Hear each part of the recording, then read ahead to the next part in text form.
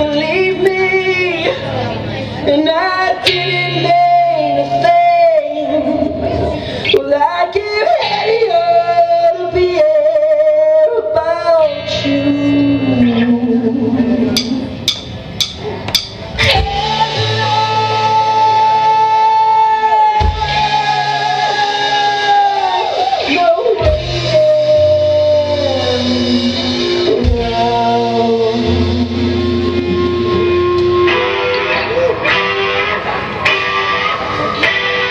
Yeah.